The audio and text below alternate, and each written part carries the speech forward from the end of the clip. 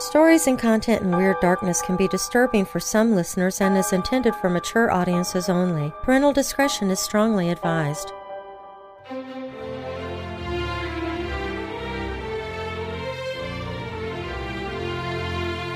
On the first day of Christmas, my true love sent to me a partridge in a pear tree. There are 92 known species of partridges, and all are actually ground nesters and unlikely to roost in a pear tree. It's a fallacy, this line, because this would be unnatural. They simply don't belong there. Divorcing me at Christmas and leaving me rotting alone in a cold place where I didn't belong was also an unnatural state of existence. I was a sickly partridge, and this cruel new reality was the pear tree where she sent me, where I didn't belong. So I responded, as one does under a breakup, both romantic and psychiatric. I chopped my true love up like I was filleting flank steak and stuffed her diced remains amongst the tinsel and ornaments around our Christmas tree.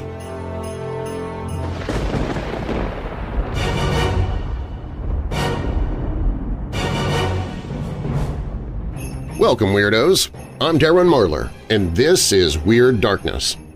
Here you'll find stories of the paranormal, supernatural, legends, lore, the strange and bizarre, crime, conspiracy, mysterious, macabre, unsolved, and unexplained.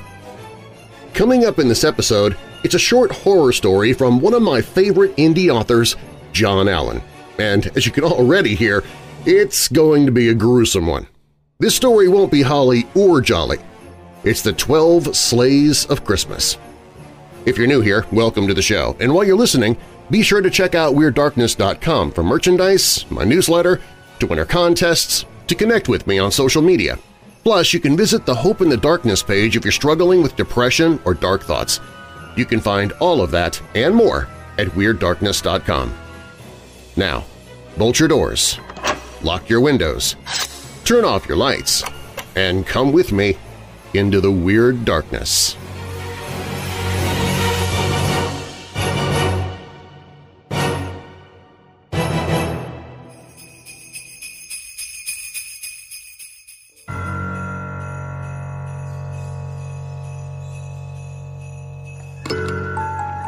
On the second day of Christmas, my true love sent to me two turtle doves.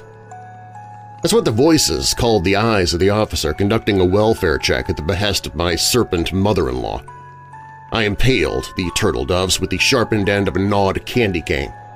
Then I placed the policeman's severed head in a gift box and wrapped it for my mother-in-law, a small token of affection that expressed my heartfelt feelings for her. With utmost Christmas spirit, I shipped the serpent's gift and left Rockford and skipped to Spokane. On the third day of Christmas, my true love sent to me three French hens and faces to match the voices in my head. That's what I saw going forward. Three talking French hens in cheery cartoon form alongside the bloodied apparition of my bossy, nagging, dead wife. They might have only been real in my diseased, ravaged mind, but they spoke to me and told me to kill. I was commanded. Losing the burden of responsibility for my wickedness allowed my wrath to flourish. I found a streetwalker in Spokane before leaving for Phoenix and pulled her underneath a batch of mistletoe in a park gazebo. We kissed under the pale moonlight as the stars radiated above and held cosmic conversations like the movie It's a Wonderful Life.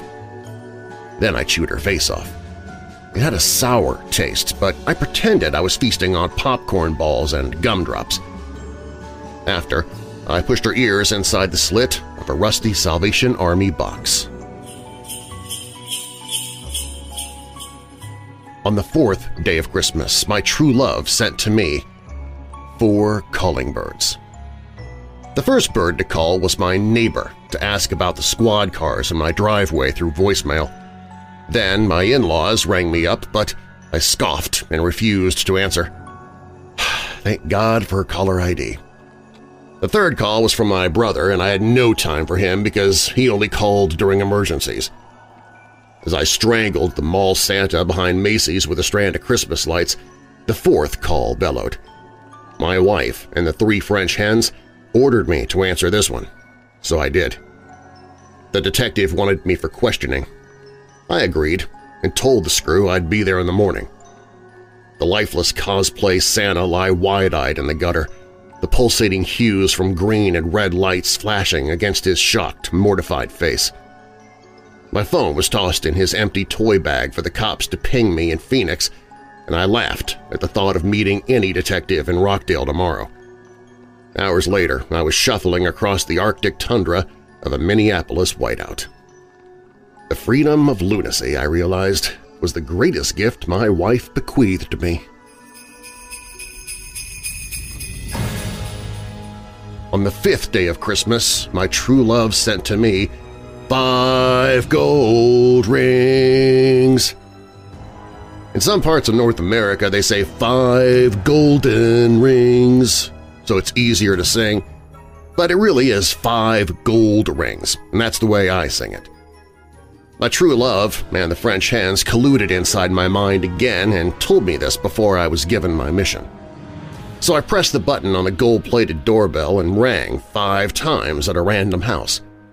When the surly old man answered the door and instantly cursed at what he thought was going to be me begging for holiday donations for some charity, I cackled in his wrinkled face.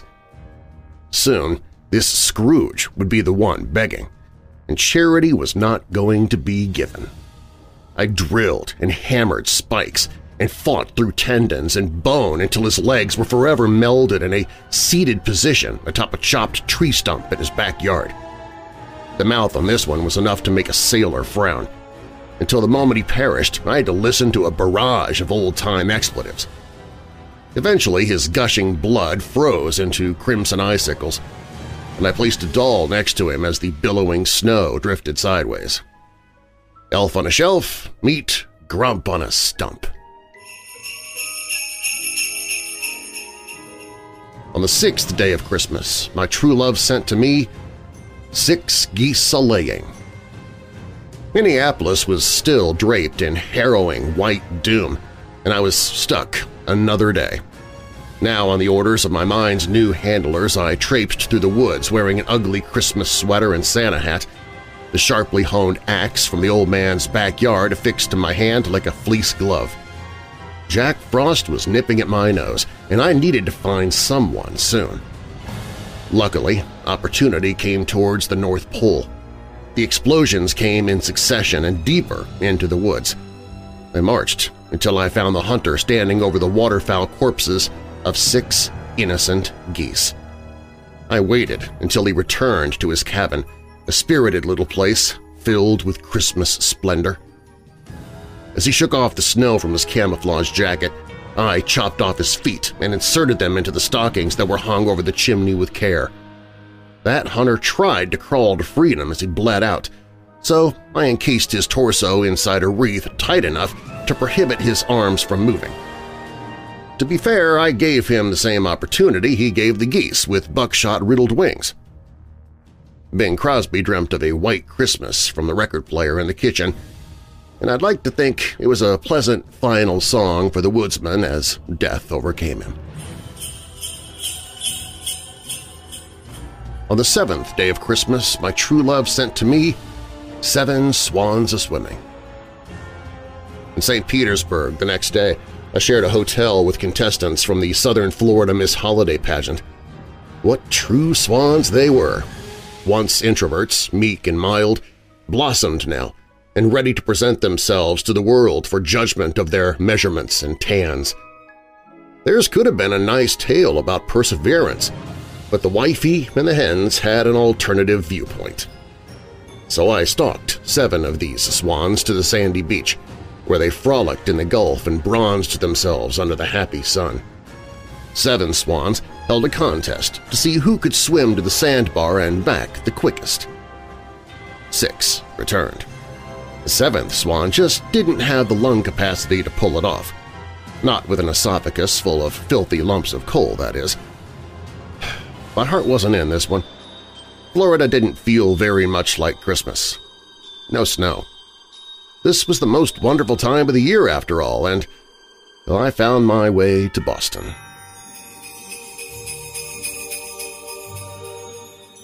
On the eighth day of Christmas, my true love sent to me eight maids a-milking.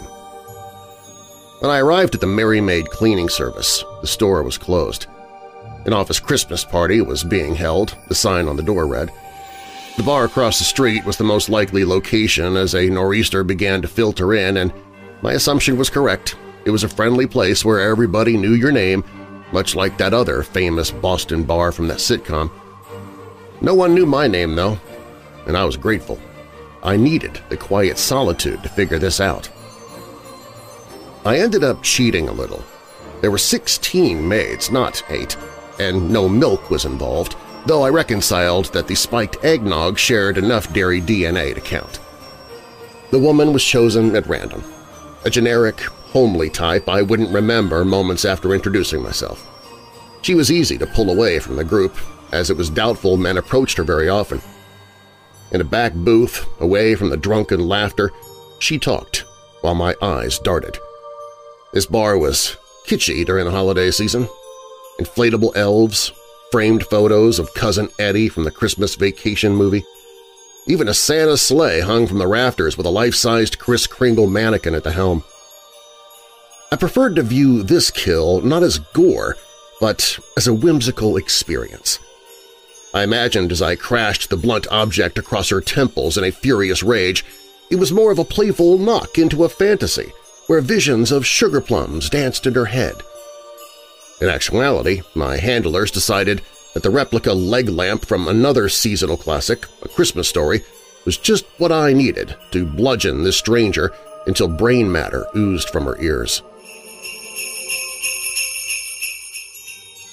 On the ninth day of Christmas, my true love sent to me nine ladies dancing. Detroit was a sloppy, icy mess, and now I knew the feds or some other three-letter agency were tracking me, so it was important to blend in. Knowing they'd be searching for me in the city, I grabbed a cab to Auburn Hills and found a nice little flophouse motel with a room in the back. I must have ordered over 20 pizzas before I secured nine female delivery drivers, and the room smelled like pepperoni and fear once my admittedly sick plan came to fruition. I'd shattered glass ornaments, at least three dozen, into jagged pieces ingrained into the carpet fibers. At gunpoint, I forced the nine ladies to dance, barefoot, atop this flesh-piercing nightmare. With their duct-taped mouths whimpering, I wore my Santa hat and watched them sway to the rhythm of Baby, It's Cold Outside. Finally, one of my lambs crumbled to the floor in agony. The eight winners received a fruitcake as they limped shoeless into the cold. "'Run, run, Rudolph!' I sang into the night, laughing as they scattered into all directions as fast as they could, leaving bloody footprints in the crisp blanket of snow. As for the loser, I hung her from the rafters with a double-looped garland. I put foam antlers on her head to brighten the occasion before fleeing into the night. Before I left, my dead wife and the three French hens made a point that I had to agree with. I was an utter psychopath that Beelzebub himself wouldn't claim. On the tenth day of Christmas, my true love sent to me ten lords a-leaping. Based on my pattern, I should have been in Nashville, but instead I used the highway to make it to Chicago by morning to throw off the chase. Ten Lords Leaping refers to the Ten Commandments, so I found myself window shopping the endless stream of Catholic churches in the Windy City during the busiest time of the year for confession. I never could bring myself to unalive clergy, but it was easy enough to slip into the rear of St. Anthony's, knock the priest out, and take his spot in the confessional booth. Even the confines of a holy place couldn't wash the devil out of me. Oh, how the sinners spilled their guts! One particular sinner confessed to an unspeakable crime, so I followed him home, and he spilled his guts again, this time at my hand. Who knew the star that capped this Christmas tree could be so sharp? This foul soul lived alone, so I decided to make myself at home for a few days. I mummified his carcass with his large intestine and an entire roll of Grinch wrapping paper. Then I rolled his remains down the basement stairs, and the hens and the wife and I baked gingerbread men while Home Alone played from my new television. On the eleventh day of Christmas, my true love sent to me eleven pipers piping. The following evening, I knew the Christmas spirit was on my side when exactly eleven carolers beckoned me to my new door to the tune of Silent Night. What nice pipes this mobile choir had indeed, except for the nasally stringy man singing off-key. Something about him irked me. He looked like the type who wrote bad reviews online and complained to the HOA about noise. The corpse bride and the cartoon French hens told me that he was the one who had made the naughty list. So I caught up to the group an hour later. Forty feet away, I hid behind slush and grime and positioned myself obscure inside a sniper nest. It was innocent and innocuous, pelting the man with snowballs, after an onslaught directed solely towards him, I finally goaded him enough to come scold what he had to think was a child hiding and acting up. Such sullying of joy was definitely his thing. Once separated from the group, my nuisance became my prey. The last snowball to peg the bridge of his nose was laced with an unforgiving jingle bell, jingle bell, jingle bell ruck that turned off his lights. After dragging him by his ankles to my place, his streaked blood a cookie crumb trail behind us, I manipulated his body to make a snow angel. Then I quit goofing off and I ripped off his lips and nose and removed his eyes with a nutcracker. I replaced them with a corncob pipe, a button nose, and two eyes made out of regurgitated coal from my seventh Florida swan's throat. I then impaled his body on a spike and packed it with the elements so I had my own snowman in the front yard. On the twelfth day of Christmas, my true love sent to me twelve drummers drumming. The dozen lawmen banging on the door with guns drawn woke me up. I'd hoped it was a simple nightmare before Christmas, but I knew better. It seemed they'd finally caught up to Mark Partridge, the commercial airline pilot turned uxoricidal Christmas maniac on a cross-country rampage. My vile, demonic exploits of homicide were all over the news. Some would say I went viral. The wife and French hens said I'd become a virus. As I lounged in bed wearing another man's pajamas in another man's home, this deranged pear tree I created, I wondered how they found me. Perhaps the decaying meat suit out front didn't quite pass as Frosty the Snowman. Maybe only a mind as besieged with thundering malice and destruction as mine could have thought that it might. I did say I was unabashedly insane. As the front door downstairs splintered into Kindle and the boys from the bureau rushed in, I bit into one of the sugar cookies I'd left for Santa and chased it down with some milk. The cyanide filling killed me instantly. It was time. I didn't belong here anyway, alone and rotting in this cold place. I was a ground nester, and all of this was unnatural. I ended my satanic depression and my life with a nibble off of a cookie. I also finished my 12 Days of Christmas as I'd started it. A partridge in a pear tree.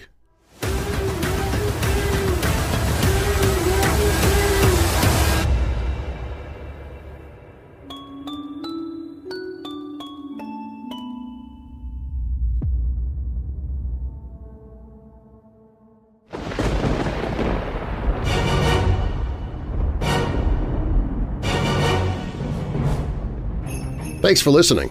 If you like the show, please share it with someone you know who loves the paranormal or strange stories, true crime, monsters, or unsolved mysteries like you do. And please leave a rating and review of the show in the podcast app you listen from.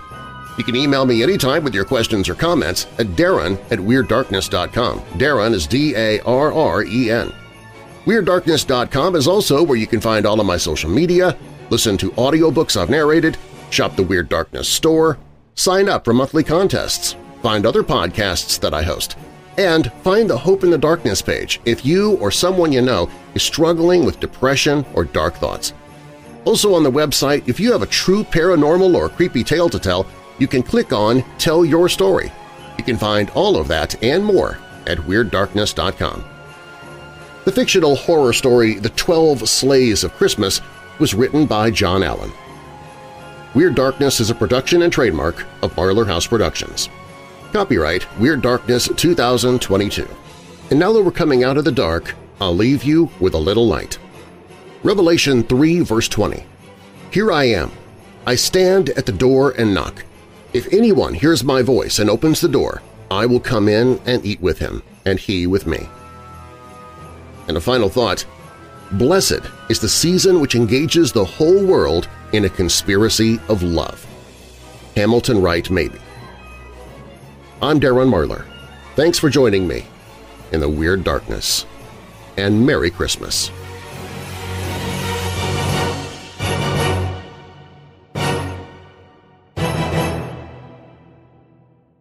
Hey Weirdos! Be sure to click the like button and subscribe to this channel and click the notification bell so you don't miss future videos. I post videos seven days a week. And while you're at it, spread the darkness by sharing this video with someone you know who loves all things strange and macabre. If you want to listen to the podcast, you can find it at WeirdDarkness.com listen.